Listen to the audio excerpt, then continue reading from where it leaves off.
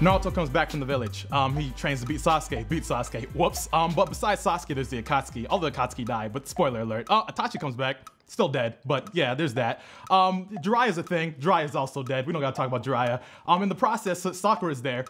Always useless. Uh, spoiler again, she didn't do anything part. Oh, she had a triangle on her forehead. No, wait, no, diamond. Trash. Anyways, moving on. Uh, Madara is a thing. Madara came back from the dead.